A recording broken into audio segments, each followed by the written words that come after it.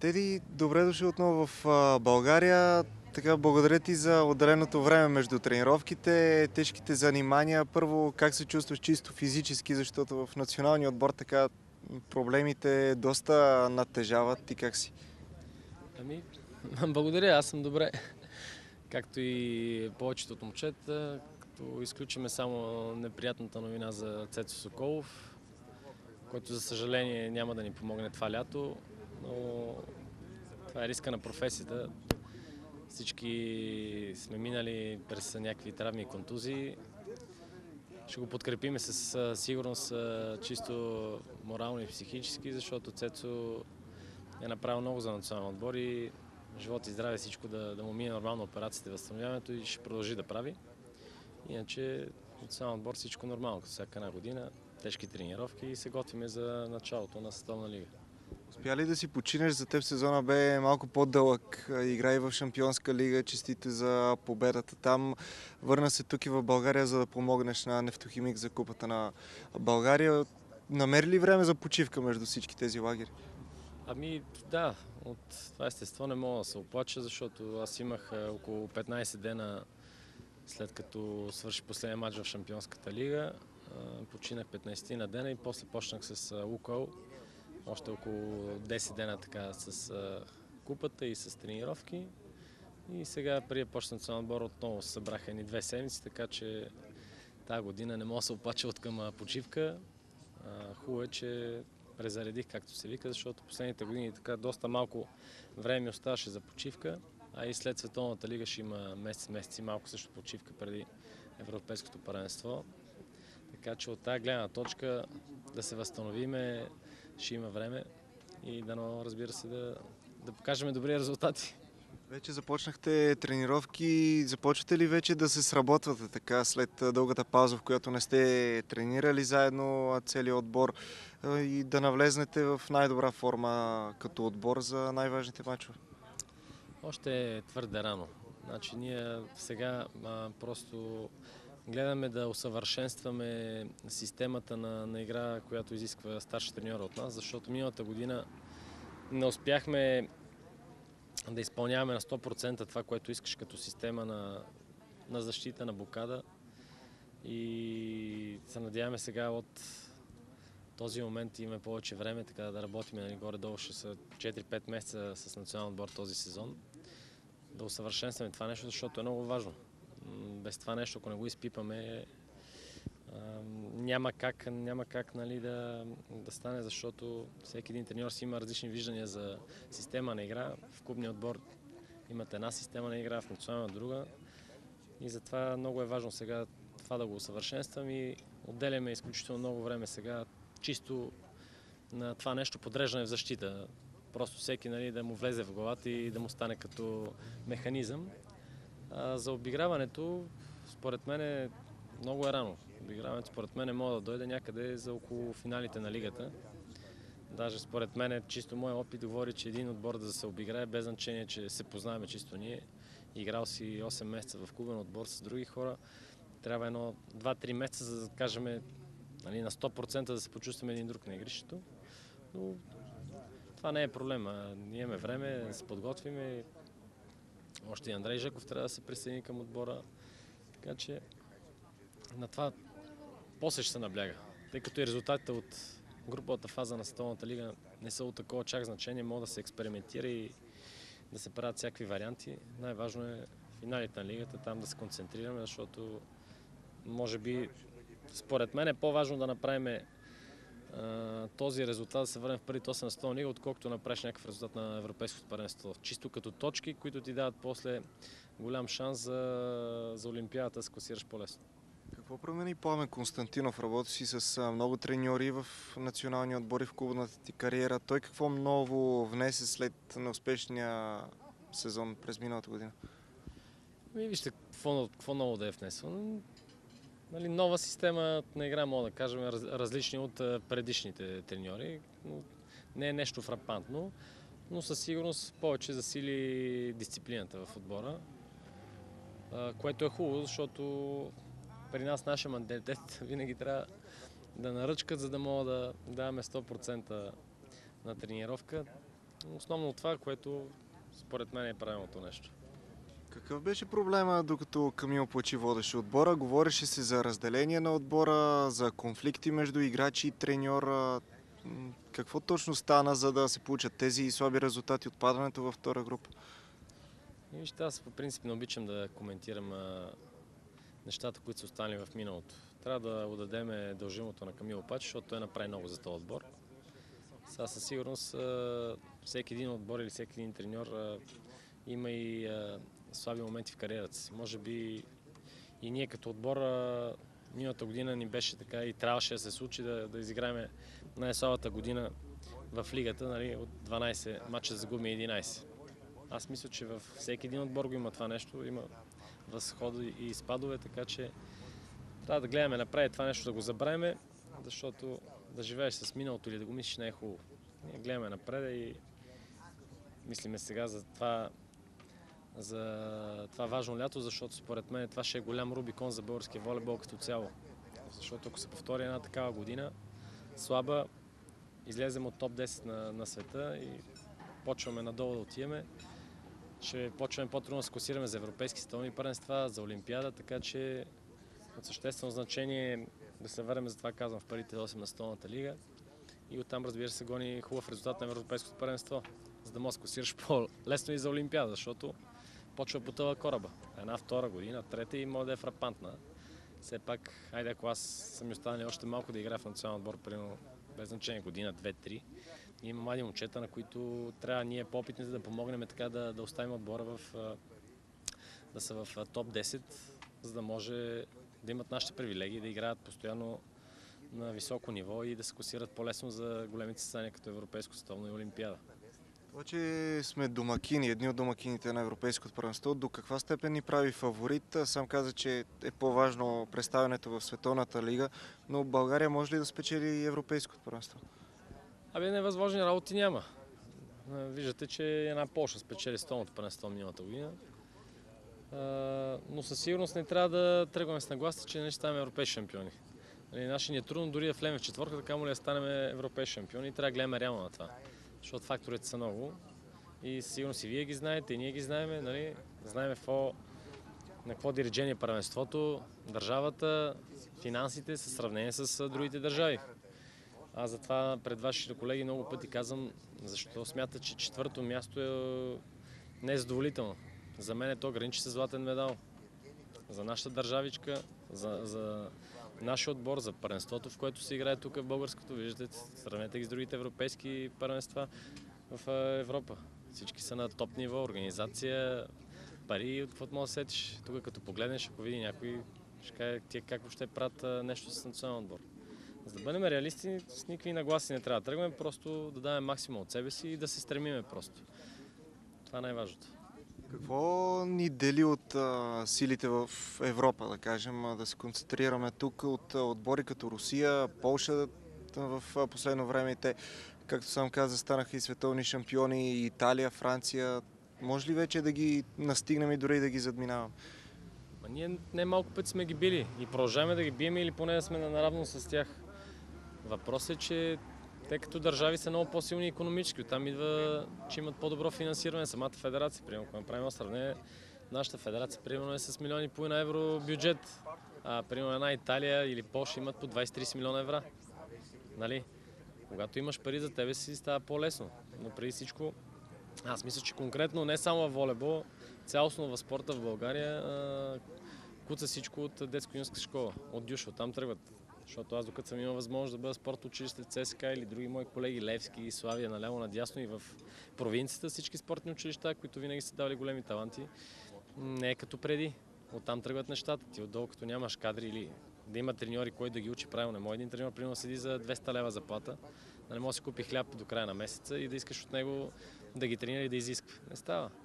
Но това е друга тема на разговор. Нали? Аз смятам, че като цяло българския спорт не е в цветущо състояние, защото виждате, то без Левски ЦСКА не става нищо. В волейбола са а, фалирали двата отбора, в а, футбола същото положение е не става. Без тия два гранда не става. Само, че без Реал Мадрид и Барселона в испанското паренство да има футбол на високо ниво. Не става. Виждаш и твоите съотборници, които играят тук в българско първенство. Пламен Константинов повика някои момчета. Ти сам усети какво е нивото.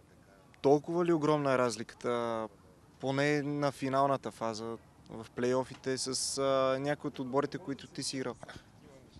Виж, със сигурност а, има доста млади момчета, които зависи как се развият в годините, може да, да направят а, много добри кариери, но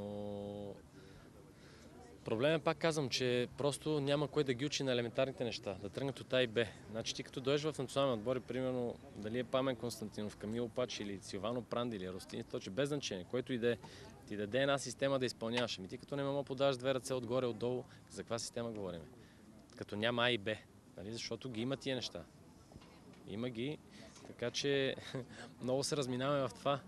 Трябва да тия момчета подготвени технически, нали, като най-елементарните неща, да могат да подават две ръце отдолу и отгоре, да имат някаква техника и чувство към топката на сервис, в атака, на блок. Ти трябва, трябва да ги учиш в национален отбор, те първа на тия неща. И как да искаме после резултати. Нали, това е разликата. Иначе България винаги е раждала талант и ще ражда със сигурност. Без значение в каква ситуация се намира финансово волейбола. Просто сме така нация, която ражда волейболни таланти. Има ли опасност след вашето поколение на теб, на Тошко Алексеев, а, Владо Николов, на Андрей Жеков да се получи спад, когато вие се откажете от националния отбор, да падне и нивото, и успехите? Силно се надявам да не е така. Защото наистина има млади момчета, но пак казвам, много, е, много са зависими нещата, а не е невъзможно да тръгне надолу някакъв спад през смяна поколение. Нали? Ще стискаме палци, ще помагаме всички с каквото можем това да не, да не се случва, защото волейбола ни е дал много, както на мен, на всички мои колеги и трябва да продължим да, да правим така, че да върви по една възходяща линия волейбола, за да може да се радваме на, на успехите, които има национален отбор през годините.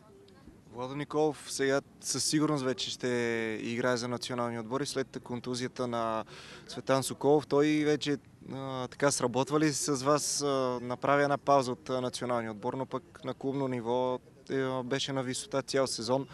Как а, усещате и неговото присъствие в отбора? Ами, Вадо винаги е бил много голям професионалист преди всичко.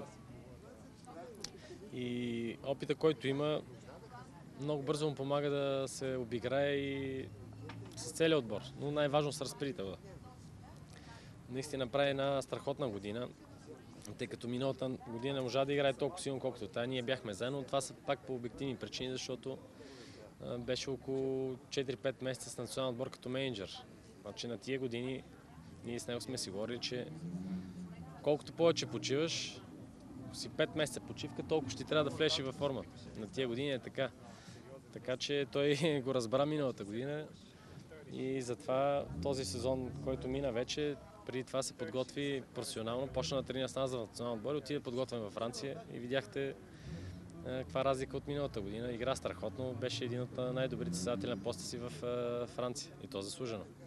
Ти като либеро по време на тренировките, как усещаш сервиса на, на твоите съотборници и там като че ли отстъпвахме драстично на противниците ни? Засилва ли се той? Абе, да ви кажа честно, може да сме имали повече брак на самия сервис, но като сила на началния удар винаги сме били в топ 4-5 на най-добрите отбори в света. И ние де-факто винаги с това сме играли. С силен сервис, с силен блок и атака. Никога не сме блестяли с защита или някакво феноменално посрещане. Това си е донация. Французите обратно. Те повече играят техничен волейбол, много защита, посрещат добре, но не могат да изпълняват този сервис, който примерно в България. Нали? Така че това е, това е разликата. Аз нямам притеснение за нашия сервис. Аз съм сигурен, че тази година отбора ще изпълнява доста добър начален удар, защото имаме изпълнителите и то се вижда и се усеща на тренировка. Вече можем да кажем, че имаме и най-доброто либеро в топ 4 на Шампионската лига, така че пак може да очакваме нещо в а, твое лице. Все пак а, опитваш ли се да преподаваш и на твоите съотборници нещата в защита, които ти се опитваш да правиш и може ли да кажем, че има ефект? Еми, аз никога не съм бил а, някой като да се прави на професор и да обяснява на моите колеги къде какво ще. Значи има си треньори, треньори с, нали, казахме, с различни системи. Един треньор казва, това е системата за защита и всеки трябва да го спазва. Значи вече другото е чисто до четене на играта и до усет. Значи трябва да го имаш отвътре. Значи, който е в национален отбор, със сигурност има качества и усет за да е там. Било то либеро, нападател, разпределител. Така че няколко е искал съвет от мен, той е идва и аз съм го дал. Иначе така сам да ходя да дам съвети, не обичам да се правя на тежък. В личен план изпрати, може би, най-успешния си сезон с спечелването на Шампионската лига. От тук на къде обаче има ли оферти към теб? Наясно ли с бъдещето? Ами, не мога да се опача, да. Тази година доста сериозен интерес имаше от, от водещи клубове в Европа. Имах от Хафен от шампиона на Германия. Още от февруари месец от Скрабел Хатов, знаете, един от грандовете в европейския волейбол. И имаха две-три предложения от Русия, над които вече съм се концентрирал и ще избера едно от тях. Най-скоро време ще убива официално в кой отбор оставам, но със сигурност ще бъде страната Русия. Има ли вариант да останеш в Зенит? Поне това да загатнеш? И ще ви кажа само така, че всичко е възможно. А, би ли се върнал скоро отново в България да помогнеш дори на родният ти ЦСК, виждаш какво е положението там а, или пък като треньор след няколко години готов ли си към тази тъпка да поемаш? Ами честно казано не съм го мислил от тази гледна точка, защото докато мога да играя и ми позволява здравето, ще гледам да играя и да се надявам, че ще е се навънка, защото виждате, че тук наистина нивото е а, много зле и съответно и заплащането и всичко, то е свързано, нали? нормално е. Така че трябва да се опитаме максимума да даваме и да стискаме да седиме навънка, за да може нашите семейства се чувстват добре, защото ние не сме футболисти, не получаваме толкова колкото те, така че при нас трябва да се играе, ако можеш и до 40, както се вика, за да мога да подсигуряваш хората, които са зависими от тебе. Матей Казийски и Радо Стойчев станаха за пореден път шампиони в Италия. Ти поддържаш ли контакт с тях и възможно ли е Казийски да се върне отново в отбора? Доста време сте играли заедно и Пламен Константинов каза, че ще говори по този казус след Световната лига. Ми с Матей се чувах през последните три месеца сме се чували, говорили сме си. Дори вчера му пуснах СМС, го поздравих за шампионската титла отново, защото Матей отново показа, че е един от най-добрите състезатели на неговия си по света. Беше истински лидер вчера. Поведе Тренто към а, тази сладка титла, бих казал за тях, защото никой нали, не ги слагаше в фаворитите, което доказва нали, качествата както на Матей, така и на Радо като треньор. Но за национална отбора, честно да ти кажа, нямам никаква идея, с него не съм коментирал тази тема, защото всичко зависи от него. Матей като каже нещо, по принцип си държи на думата, но пък ако се върне, аз ще бъда един от най-щастливите хора в отбора, защото да имаме такъв състезател в отбора ще е голям плюс, особено на а, такъв форум като Европейско първенство, което се прави през 30-40 години в България. Ако мога да зарадваме тая публика, да направим някакъв резултат и както се казва, дали е европейско или до Олимпиада ще стискаме да си, завършим кариерата заедно по най-подобаващия начин. За Олимпиадата какво можем да очакваме? Там а, имаме ли шансове да сме отново сред челото или пък а, все още не мислите за този форум? Аз ще кажа съвсем отговорно и сериозно, че някой ако си мисли, че ще отидем на Олимпиада толкова лесно, много се, много се лъже. Повярвайте ми, много по-тежко е се класираш на Олимпиада, отколкото да направиш резултат на Олимпиадата. И докато миналите години имахме лаудкарт за тази в Пекин и се класирахме от Столната купа, която даваше тогава три квоти. А, втората за Лондон видяхте прецедент, благодарение на правителството. Тогава Бойко Борисов пътиха, мисля, че две олимпийски квалификации. Това е една след друга. Това беше прецедент в нашия спорт. Пак вкъщи срещу една Франция трябваше биеш, Пакистан и кой беше? Индия ли, примерно? нали? Това е лесният вариант, но сега, вече като нямаме подкрепата на правителството, в случая за, за квалификация вземе домакинска и като нямаш лауткарт за световна купа, според мен шансовете са много по-малки, отколкото преди, ще бъде много тежко. Не нереално, но много тежко. Аз съм реалист и мисля, че не само аз. Всички момчета го знаят, както и в федерацията, така и Памен сме си говорили. Ще бъде адски тежко, но силно се надявам отбора да успее. Какво би казал на феновете на националния отбор? Те не бяха много доволни от последния сезон. Дори имаше мачове, в които залата не беше пълна. Нещо, което рядко виждахме преди това, за да ви подкрепят и на Европейското първенство, и в Световната лига. Ами, вижте, нормално е. Нормално е, когато няма резултати, феновете така да се чувстват обидени от това, което показваме на игрището. Но ние със сигурност не по-малко от тях сме искали да, да победим всеки един отбор и да ги зарадваме.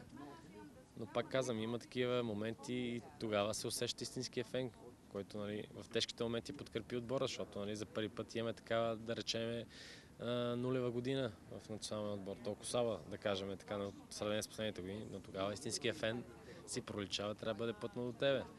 Но не мога да ги обвинявам хората, тъй като и пак опираме до чисто финансовата страна. Сега един баща си заведе примерно двете деца на матч, му коста 15 лева. И като дойде събота и неделя на два матча, му е 30 лева. И той ако взима примерно 400 лева заплата, представете си какво му коства за него. Така че разбирам ги и хората, но надявам се да им върнем доверието това лято и аз съм сигурен, че отбора ще изглежда много по-добре, отколкото миналата година. Разбрахме, че голи няма да играете, имате си екипи. Пристигнали обаче тренировъчната екипировка, анцузи всичко наред ли около това? Ами мисля, че днес или утре трябва да дойдат тренировъчните екипи. Не вярвам да има проблем с това нещо, дори малко се бават, не, не, не е фатално. Не е фатално. Аз съм нормални неща. Остава вие да излезете и да спечелите мачовете. Не, разбира се.